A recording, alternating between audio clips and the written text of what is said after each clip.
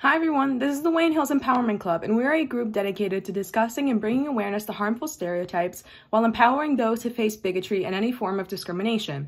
This club's goal is to give students a comfortable space to discuss social issues and to make the school a more accepting environment for minority groups. So far, the club has brought attention to topics such as feminism, body positivity, the rise in Asian hate crimes, Islamophobia, and LGBTQIA plus awareness. We also hosted a poster competition to raise awareness for the COVID crisis in India. The future of our club entails a variety of projects that will get our members more involved. For example, we plan on creating care packages for women's shelters and dedicating the month of October to women's health and breast cancer awareness. We hope to host many club fundraisers to raise money for a variety of charities. Our meetings mainly consist of discussions with students across all grades. We often invite guest speakers that could share their stories about a specific topic.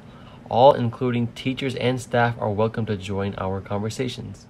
Our first meeting will be Thursday, September 30th after school in the auditorium. This will be an introductory meeting to welcome our new members and to provide a plan for upcoming meetings and events.